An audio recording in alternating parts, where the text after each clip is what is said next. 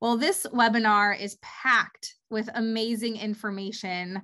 Um, I keep seeing people join, so this is fantastic, but we will slowly get started here as I work our way through the intro before I pass it off to the amazing Alex, a strategist from our team. You are all joining us today for our Making Work from Home Work for You webinar. And what makes this webinar so exciting is that it's an incredible hybrid of obviously trend forward, innovative information, the latest and breaking, just like we obsess over and love to deliver here at EBCO, mixed with actual expertise that can benefit you at home right now in your current work situation, in your work setup at home. So I just love that double value that we have packed into this EBCO Obsession webinar for you today. For those of you who are new, although I will say I see tons of our fan base here who are always showing up and supporting us. So thank you. But those of you who are new, who don't know us, we're Austin, Texas based EBCO. We are a trend and innovation firm. We work with clients to look at the future of their industries. We can move to the next slide if you don't mind. We are uh, here in Austin, and actually, our team is work from home. We are all over the place. We cover 15 states at the moment in our current growth. We're almost 20 people strong. For those of you who have been with us along our journey of webinars over the last few years, that is tremendous growth. So, really excited to bring this to you today. We have so many clients that we work with. You can see an overview of them here. So, we love dabbling in all of these industries, and it's just phenomenal to us that this topic of work from home is something that actually brings us all together this unites us across industries. We are all experiencing this one way or another, and it actually has an impact on how we collaborate and how we innovate and just how the world has changed lately. So, really excited to bring you this content today. I am going to turn it over to Alex. You are going to be hearing from a star researcher on our team. And not only is she a trend expert, but she has a master's degree in ergonomics. So, you are going to get a fun filled webinar today packed with useful information. Alex, why don't you take it from here? All right. Yeah. Thank you, Erin. Um, so, like Erin said, uh, I have a background in ergonomics and biomechanics, and I have my master's degree in that. Uh, my first job was at this really large commercial furniture retailer. Um, I worked in their product development lab, and we were uh, really building uh, office chairs that are comfortable and safe and supportive. Um, there's a lot of science that goes into them, and I was working in the lab doing that, um, working on all different sorts of office components, anything that you could find in an office, a table, a desk, a chair, a little storage component, everything has science and thought behind it. Um, and so that was really interesting and rewarding. I got my um, associate ergonomics professional certification there. Um, so I'm certified in this. I'm not just talking about it because I'm super, super interested in it, but I really have a background, uh, a scientific background in this. So I'm really excited to share it with everyone today. So today we're going to cover some trends in technology, this idea of the smartphone society, uh, some trends in human behavior and the culture of wellness that we see today, um, some trends in the home, how the home is changing, the expanding definition of what a home means. And then I'm going to provide some ergonomic guidance and advice at the end, uh, some tips and tricks on how to make this all accessible, affordable, and then uh, we'll have some details at the end on how you can get in touch with me if you want to do like a one-on-one consultation, which I'm really excited about. So first, we're going to talk a bit about smartphone societies and the rise of mobile first behavior. So data shows that the interest in the term digital nomad has been steadily increasing since 2014. Um, so this here is a graph uh, from Google Trends showing the data for the search term uh, digital nomad. And we can see that there was like a little dip here when COVID initially hit and we were really shut down from travel, but it quickly bounced back and even exceeded previous levels. Um, so, like, how many of us on the call today are working on global teams? We have clients and colleagues distributed amongst different time zones.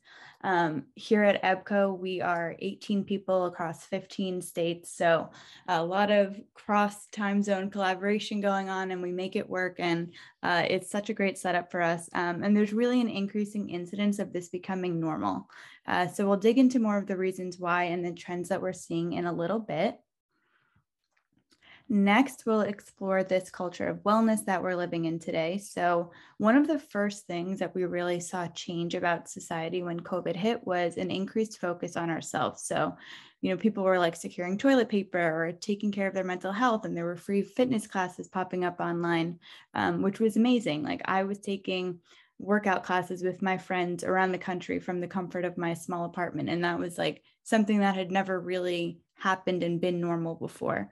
Um, and so now we have this hyper self aware, uh, self care mindset. And we're seeing this in so many products that are offering functional benefits for the consumer. So we've already really seen this in the food and beverage space, um, but now we're beginning to see these claims show up more in other areas. Uh, we actually just finished this project for a large client in the home care and cleaning space. And one of the big trends that we we saw there was that um, across a lot of their business units, there was like a functional fragrance component to a lot of products.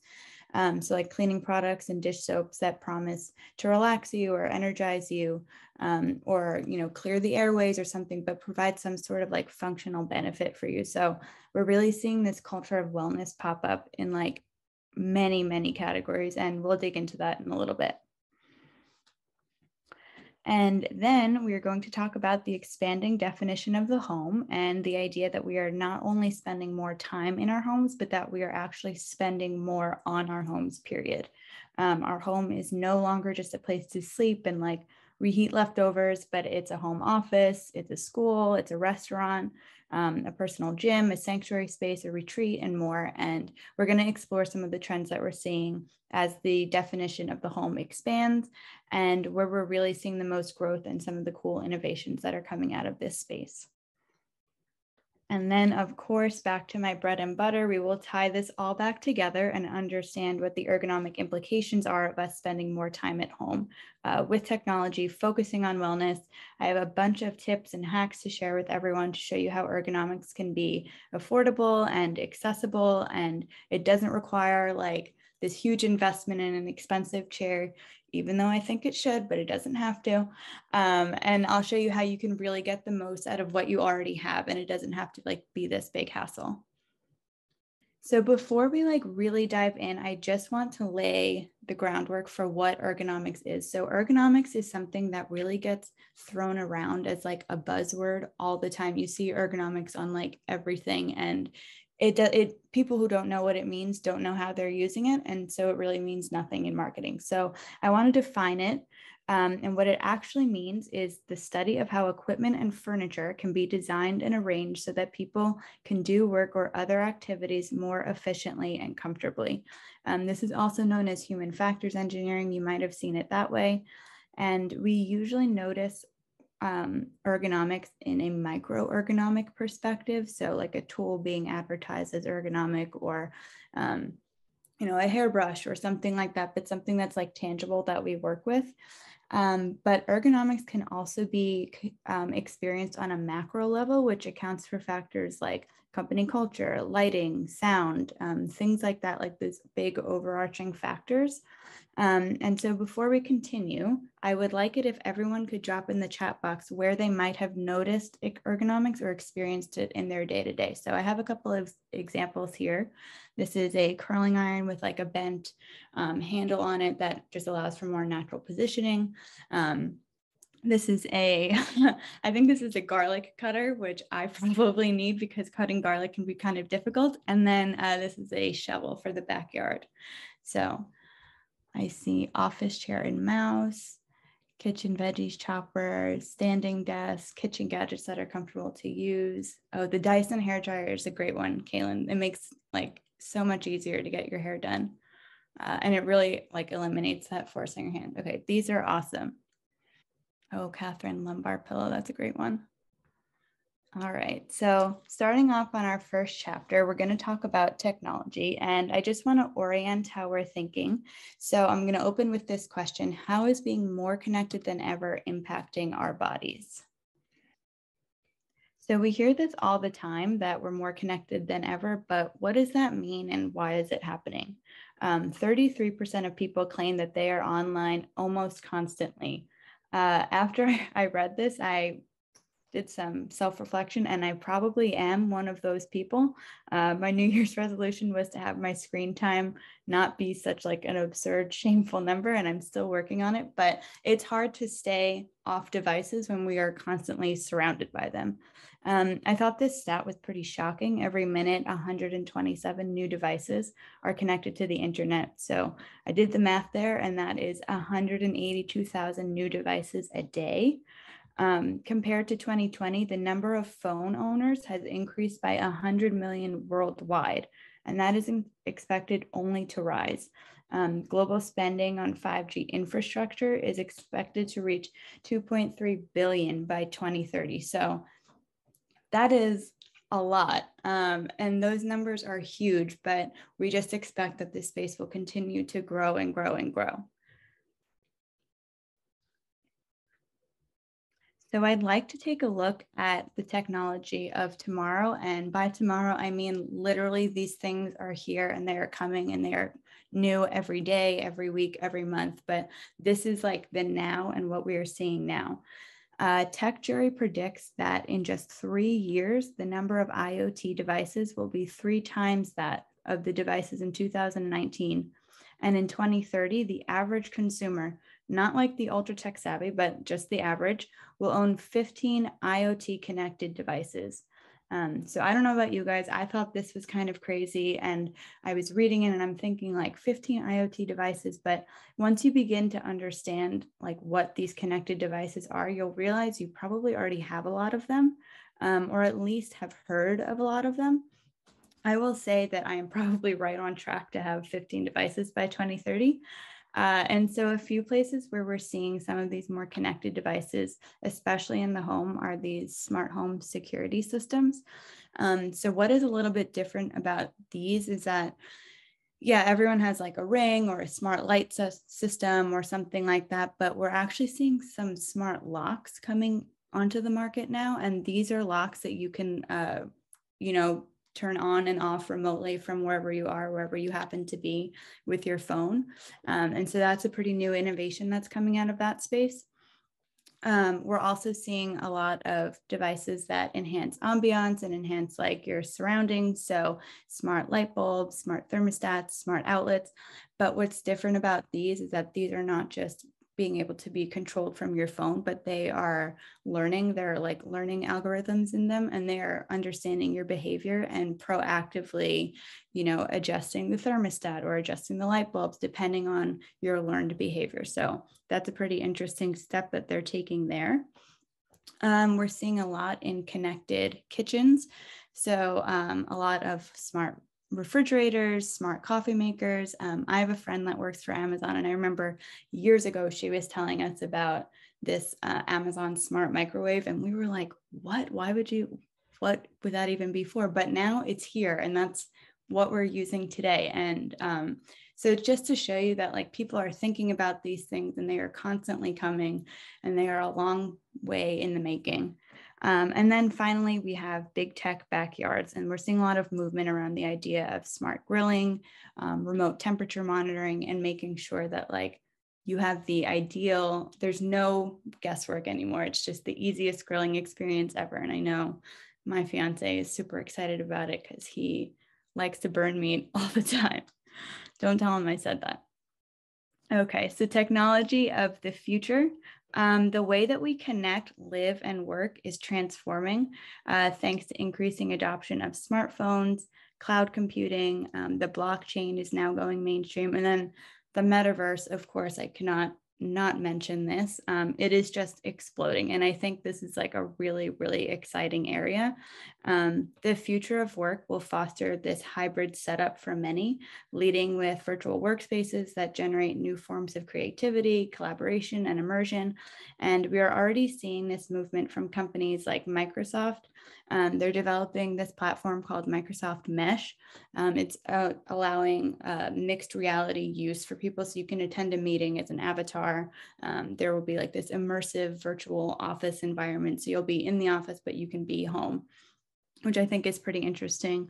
Um, I don't know if anyone happened to catch this article in Bloomberg like a week ago, but there's this new company called PORTL. It's a startup, and they're selling these booths and like tabletops that allow holograms to be present in the workplace. So you can be virtually present in a physical space. And I guess depending on who you work with, that can be a really good or really bad thing. But it's just it's just really cool and really interesting that this is something that is coming very quickly and very soon. Um, and it's just really changing the way that we work.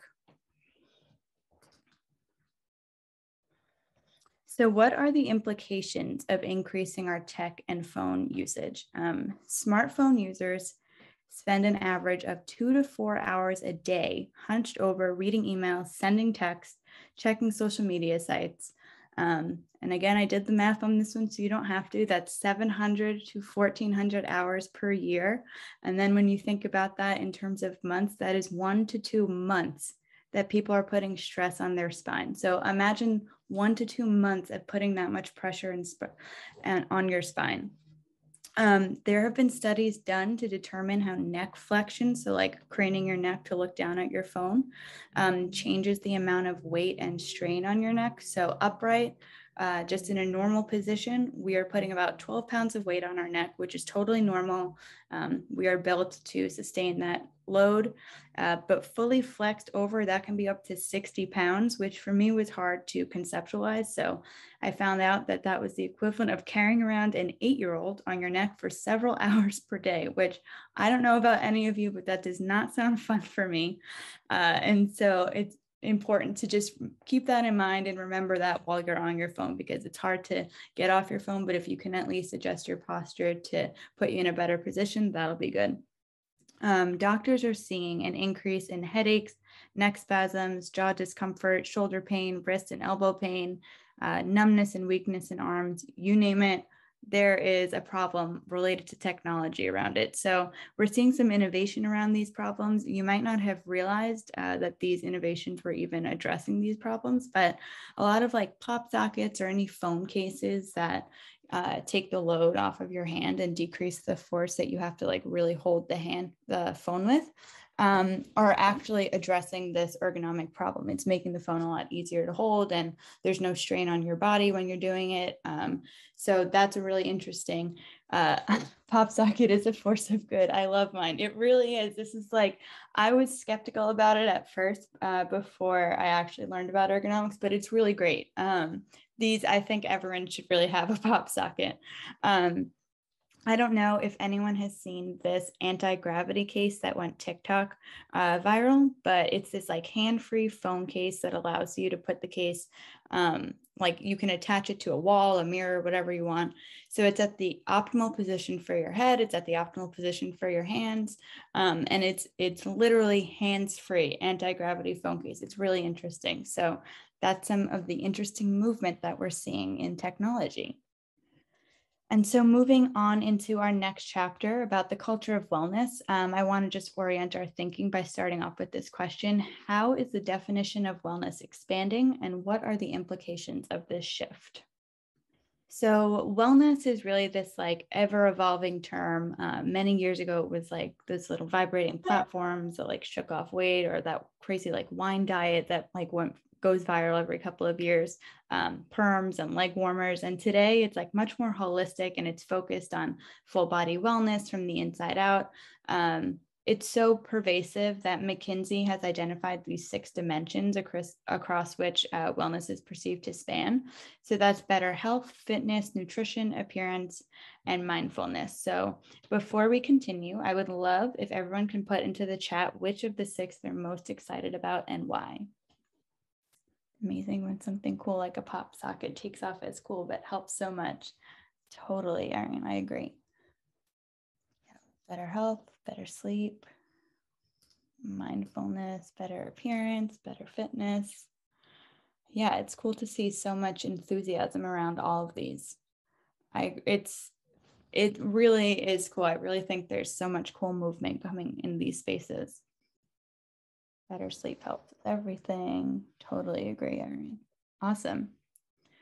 Cool. So So, data shows that consumers are planning to increase spending in specific categories like uh, memory and brain enhancers, beauty supplements, nutrition, and mindfulness, but really anything that will help to enhance and increase overall personal wellness is going to do well here. So, we're even seeing companies that started off in like the wellness supplement space taking that into new formats and new avenues. I don't know if anyone is familiar with the Nue Co and UE.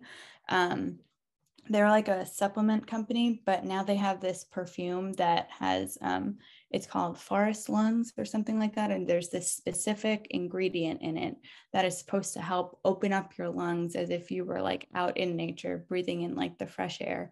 Um, and their whole theory is that wellness can take on different formats that we're not used to. So a supplement doesn't have to be a pill. A supplement can be a perfume. It can be a candle.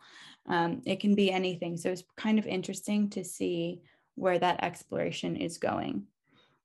Um, so here I've highlighted a few products that are addressing this desire for more overall wellness. Um, these aren't just fitness trackers. They track sleep and mood. Um, this Amazon Halo Band, I don't know if anyone has one or has tried to look into one, but pretty interesting. It tracks your tone of voice and analyzes it in tandem with your heart rate and other body signals.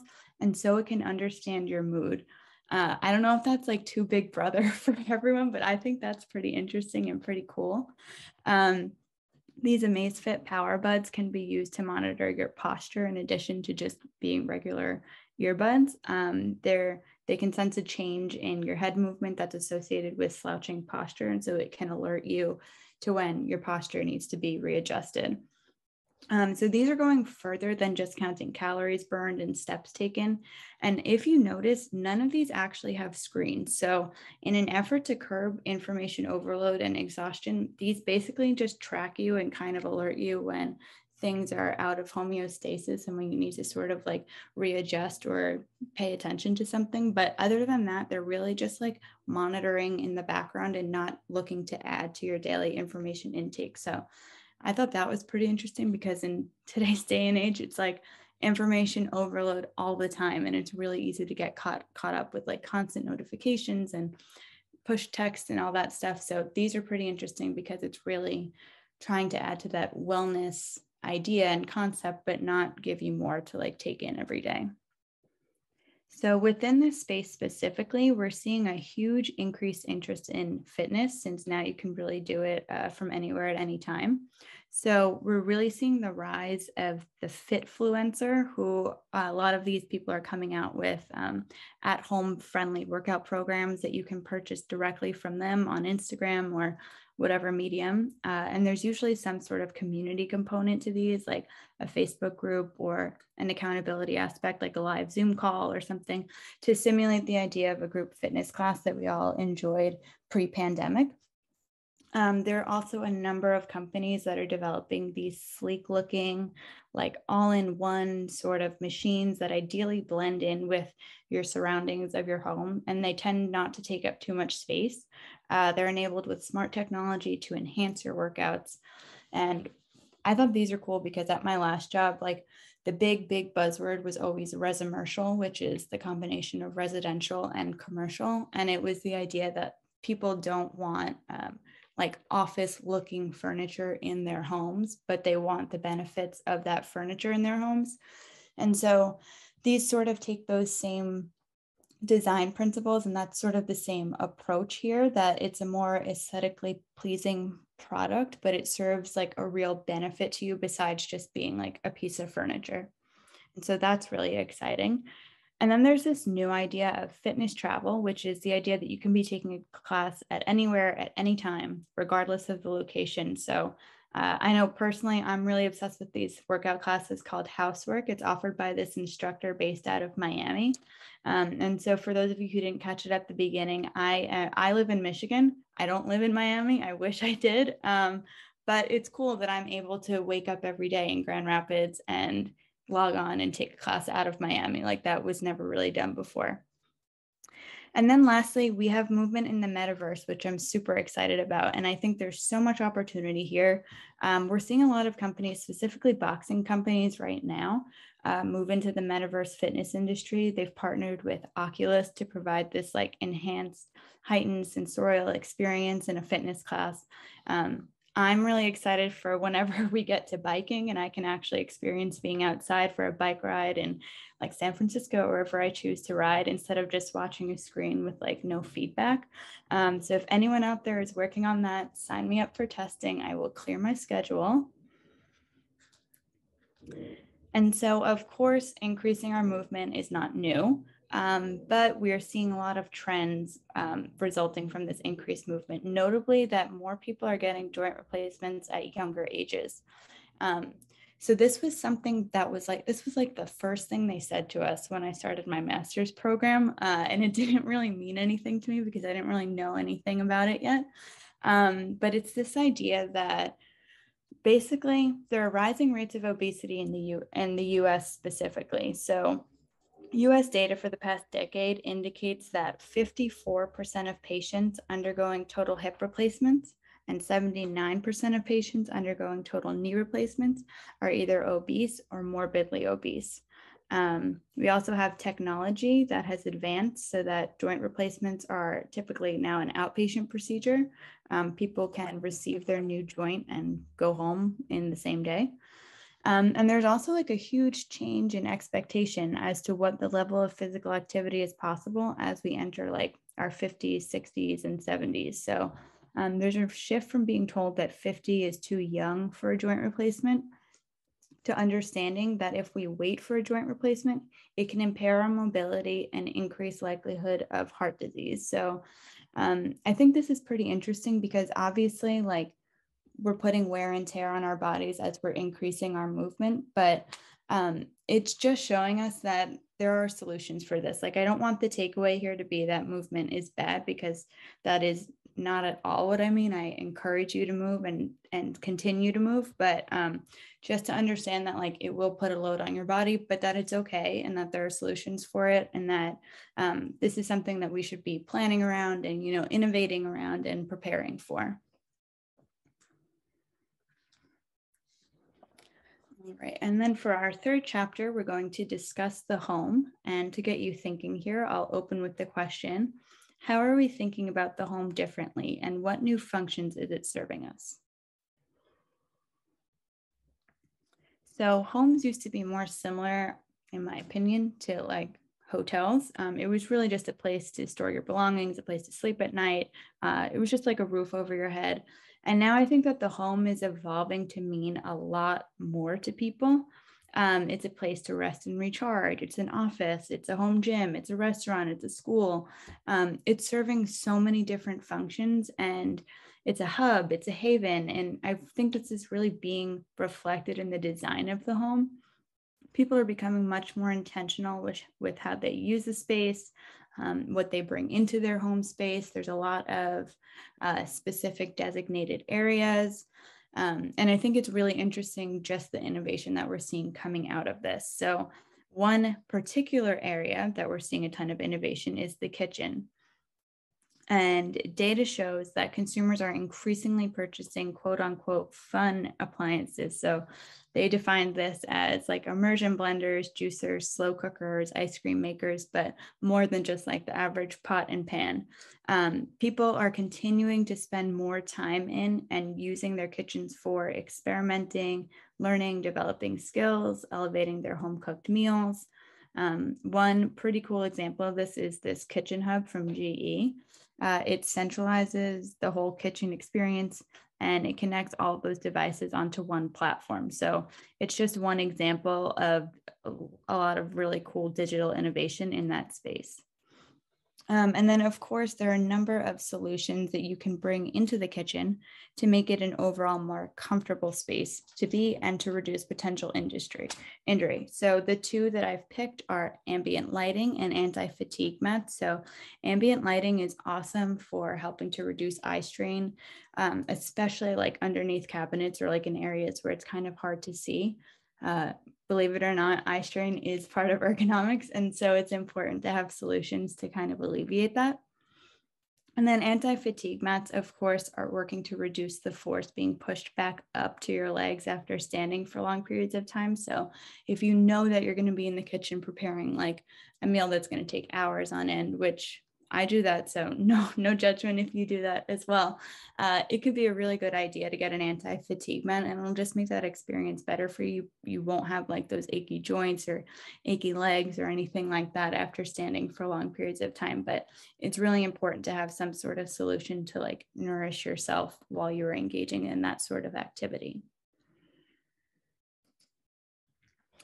And then the second space where we're seeing a ton of movement is the home office. So as I mentioned in earlier slides, uh, remote and hybrid work is really here to stay. Um, there is a really big increased interest in spending in cultivating a space that is more permanent and works to facilitate working at home. Uh, data scientists estimate that one in every four jobs will be remote by the end of this year. Um, so this space is really something worth paying attention to. Um, with working at home comes different aches and pains. So a number of at-home solutions have been developed like sit to stand desks, ergonomic keyboards, ergonomic chairs, and footrests. And what I like about these is that they're always evolving and changing. Um, so when I worked at my last job, we were designing office furniture for whatever the latest set of data about bodies showed. So the CDC actually releases like a set of data. It's called NHANES, N H A N E S, uh, every year or so. Um, and it's it is civilian data, and it has all of these different like anthropometric data, like the circumference of your head, like the width of your hips, like think like every body measurement that you can imagine. It has that data, and it's like tens of thousands of people in this data set and basically what we would do every year is like go through understand how like the key parameters were changing and then understand how we needed to shift the design of whatever chair to fit like the average person and what the adjustments were that we needed to fit like both extreme ends of that spectrum. So um, i think this is really interesting because these things are always changing. Like yes, standing desks and keyboards and chairs have been around for a very long time, but we're continuing to innovate and improve them based on how people's bodies continue to change. So um, I don't want this to seem like it's just like a space that's been around forever and there's nothing going on, but there's like actually a ton of movement in science and innovation that's going on there. And there was a lot of really cool work that we were doing at my last job. So before I continue, I would like to ask everyone, uh, where else are you seeing the home evolve and how? Oh, definitely the garage. That's a good one.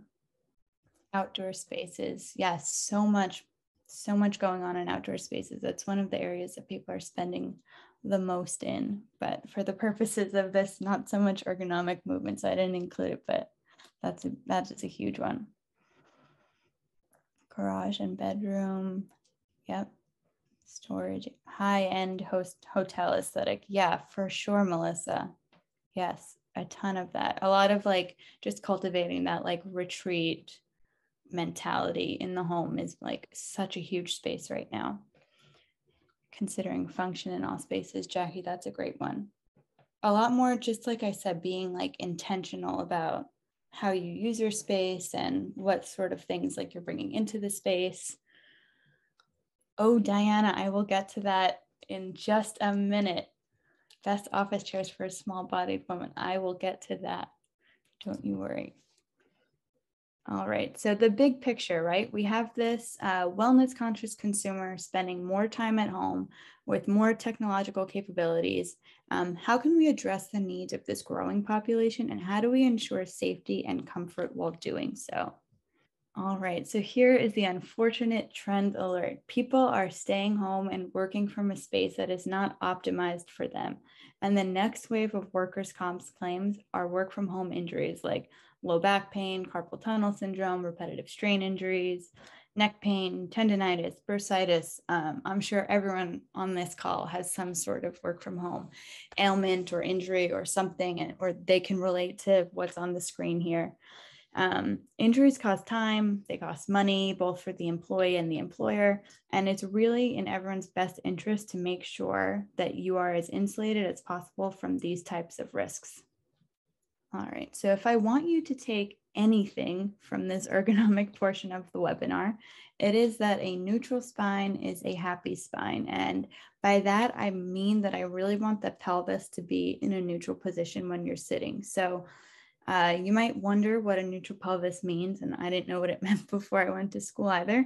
Um, if you stand up right now, like if you literally stood up out of your chair, uh, that would be your spine and pelvis in a neutral and ideal optimal position. And so now if you try and sit back down without moving your upper body, so making sure that like your head, neck, and your chest stay upright, that's going to be a pretty optimal posture for you without hunching or overarching your back. Um, that should be the ideal that you strive for when we work from home and we're sitting at a kitchen table, a bed, a couch, wherever we might find ourselves, where we're really compromising the position of our spine and straying from that ideal position and what it really is. Um, a lot of people ask me about like the straps that you can wear that sort of pull you back and everything, um, those like posture correcting vests or whatever. And those are fine, but I tend not to really recommend them because you're not actually working to improve your posture. Something is just holding you back. Um, but really, the key to maintaining like a good posture while you're sitting and not having to think about it is just working on the muscles that are in your back essentially when you work uh, when you work out your muscles get tighter. So if you work out your back muscles they're going to get tighter and they're going to pull you back. So they're going to pull your your shoulders back. They're going to push your chest forward. Um, and that's really how you can ensure that you are actively keeping yourself up in a posture. Otherwise once you take that little uh, posture correcting vest off you're just going to revert back to that little like hunched position and you really didn't achieve anything. Uh, you didn't really alter your posture. Um, so that's just something to consider while you're reading over this information. So, what is the optimal way to sit at a desk? Um, ideally, this is your optimal position. So, you can see here you want the monitor, like the top line of text, to be right in the middle of your field of view. So, if you're looking straight ahead head up and chest is up and everything. You're looking straight ahead. You want that top line of type to be right in the middle of that field of vision. Um, your arms should be relaxed. Your elbows should be at or about 90 degrees, and your forearms should be about parallel to the ground. Um, your chair should ideally have a backrest and armrest to um, you know support you and your movement your thighs should be about parallel with uh, the ground and your knees should be at or about 90 degrees.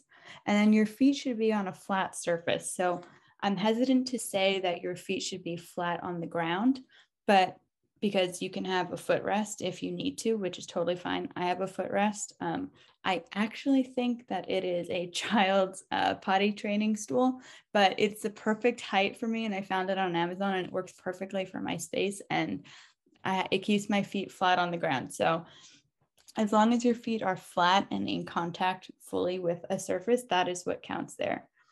Um, and so, taking these basics into account, it's important to understand that in order to achieve this, um, using a laptop and only a laptop to do work will inherently put us in a bad position, right? So, if you think about it, on the laptop, the screen and the keyboard are connected. So, in order to have the keyboard in the correct space for your arms, it can never be at the correct space for your eyes. In order to have it at the correct space for your eyes, it will never be at the correct spot for your hands. So, um, it's really important to consider having like an external keyboard or an external monitor or something there. And then, what I also want to point out here is that uh, movement is important. Movement is key. Um, I'm sure that everyone has heard that sitting is the new smoking, uh, and it's being regarded as like this terrible thing for your health. But I'm here to tell you that the truth is that's just being static for long periods of time is actually what is harmful. So if you stand for eight hours a day, you are no better than someone who is sitting for eight hours a day. But the point is that you want to continue moving and have regular cadence uh, of movement throughout the day. All right, and so here are two different models of movement that have been uh, studied pretty extensively. So here we have the 28-2 model, and then over here we have the 30-20-10 model, which uh, both provide different uh, intervals of sitting, standing, and moving throughout the day.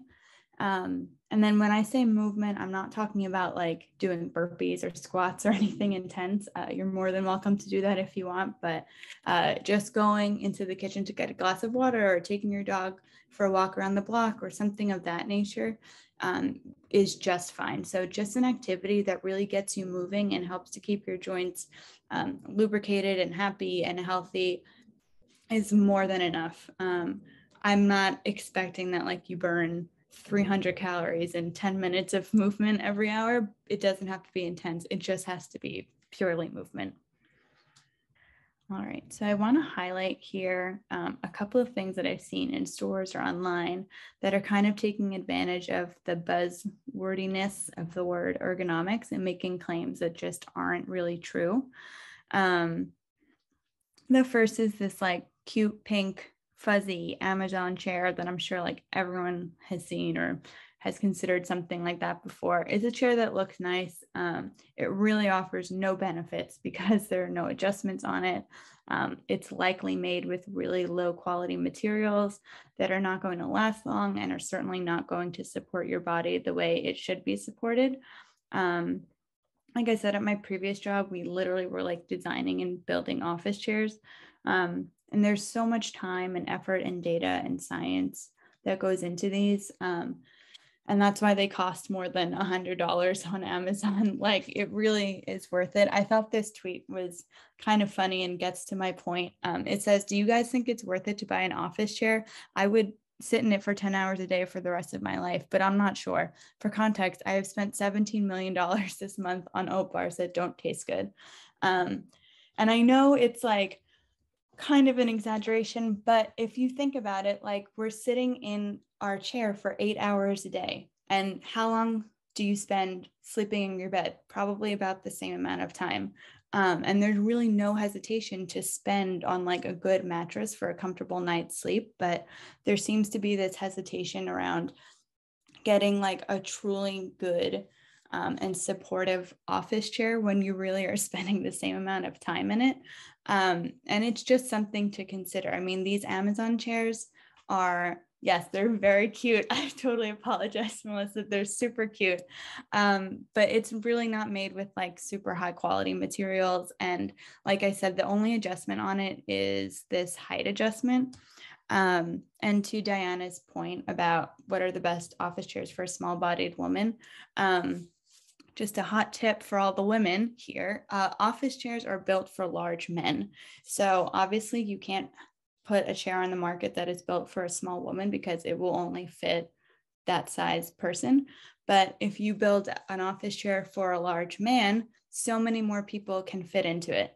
So, um, office chairs that have adjustments like arm adjustments, um, seat depth adjustments, that's like the big one for women because we have shorter legs. Um, any type of adjustment, like the more adjustments, the better. So I know they're super ugly. They look like little machines and everything, but it really is for your benefit, um, especially if you are not like the 95th percentile male, which I would guess most people are not. Um, but you really want your chair to fit you and these these chairs really just don't do much more than look nice in the space. Um, second, I want to talk about um, this like desk uh, bicycle chair. Um, it's a great idea because you're moving throughout the day, and I totally appreciate that. Um, it keeps your arms in the right position. You can see that his arms are like parallel to the surface. Um, however, there's not enough space to use like the external monitor, or the external keyboard, or anything like that. Um, and so obviously his hands are in the right space, but his head is now looking down and craning his neck down. So this guy is spending who knows eight hours a day biking away with the weight of an eight pound child on his neck. because he insists on having this little bicycle desk. So um, it looks great. It's great in theory, but it really just is not doing you uh, any justice. Um, and then lastly, I feel like everyone in the world has seen these uh, ball chairs. Um, there's so many of them on the market. I could not recommend these less. Um, they give you a ton of spinal compression. There is no back support. Um, most importantly, it is like really the exact opposite position of how your pelvis should be in a chair. So, in any like good office chair, um, it's like a con uh, it's a concave uh, you know contour in the seat. So um, that's like the plane that your body should be moving in. And this one is convex. It's literally exactly opposite. And you are not meant to be moving in this sort of plane of movement. Like your pelvis just isn't built for that. Um, so unless you literally like a pregnant woman just bouncing along i really do not recommend these at all for any like long term um, sitting at all.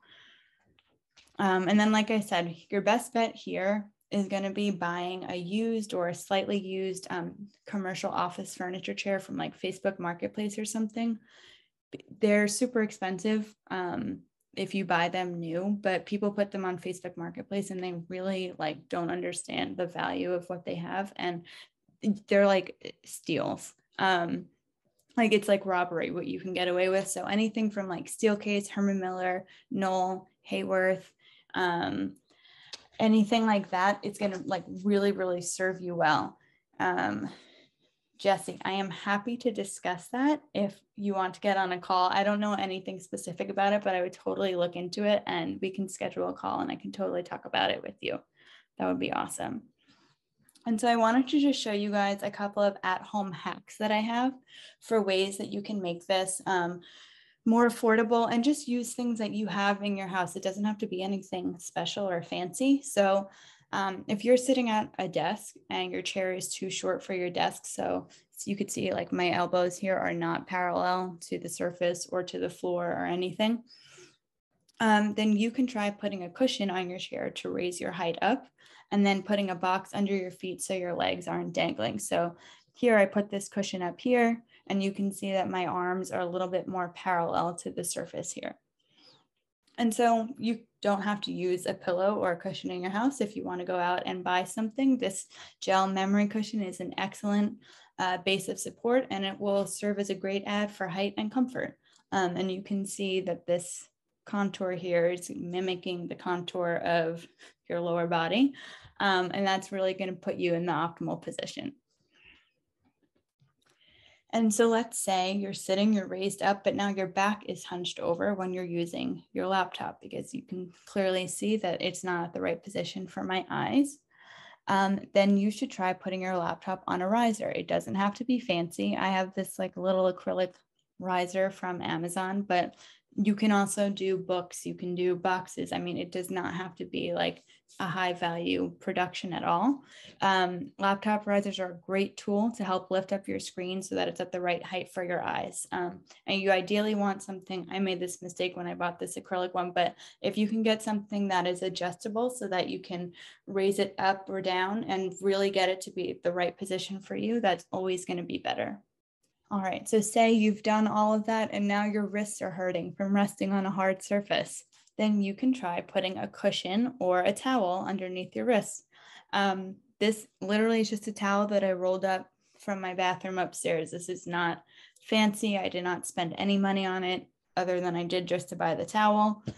Um, and it it does not have to be bulky. Um, it does not have to be tall. Uh, the edges are tapered now that we're seeing a lot of that in the space. So it allows for more like natural resting position of the wrist while typing instead of um, where as they used to kind of actually be harmful, but now they're much better. This I love. So this, if your seat is too long for you, there's no room between your calf and the back of your seat you ideally should have like two fingers width of space between the back of your calf and your seat because otherwise it can cut off your circulation. It can give you spider veins, which I know terrified me, um, but it really is just not good for your overall circulation. Then you can try getting a lumbar support behind your back. Um, I just put a basic pillow behind my back, and that was enough to sort of keep me up and upright. But if you want something like a little bit more substantial, I really, really like these um, mesh back supports. Um, I tend to like mesh more than memory foam or gel because memory foam just sort of molds to your back because it's memory foam.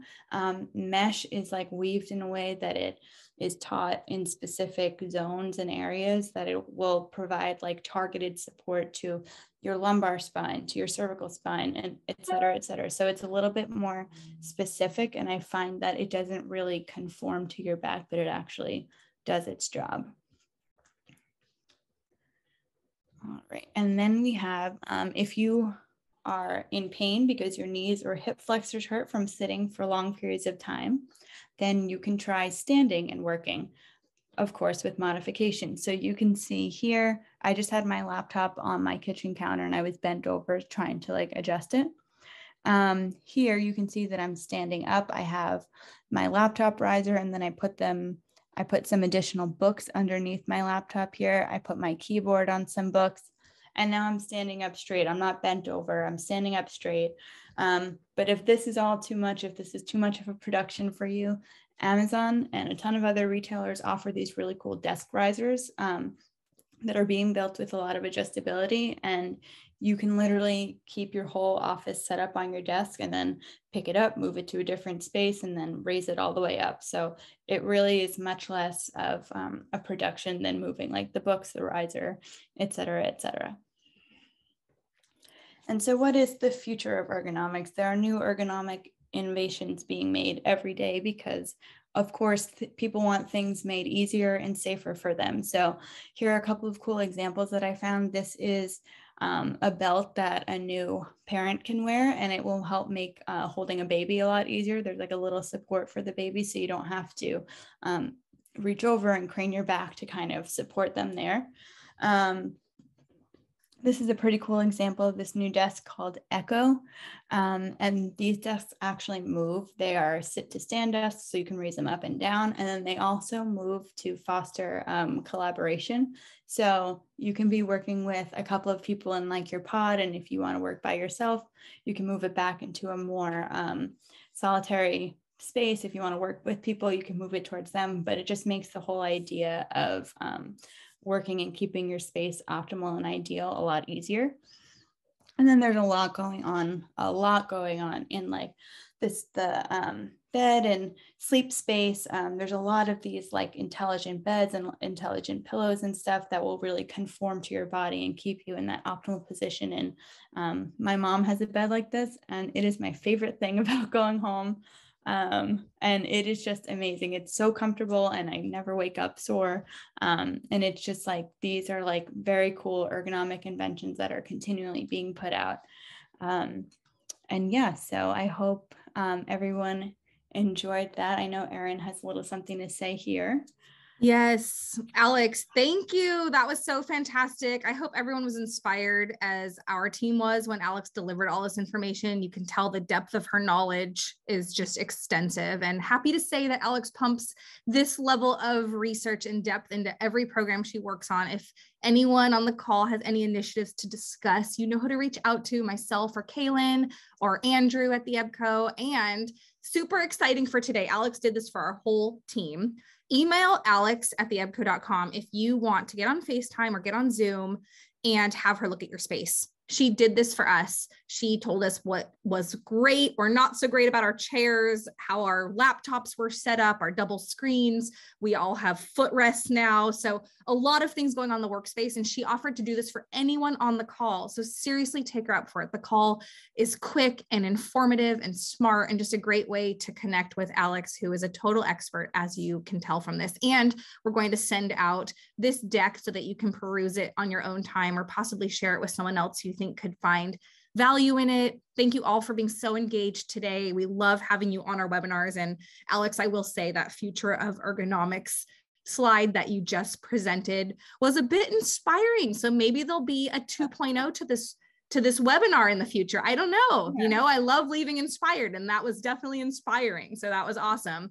Anyway, of course, thank you, thank you, thank you, everyone, for joining us. And Alex, thank you for all of that knowledge and for sharing your expertise with us today. And we will see you on future webinars.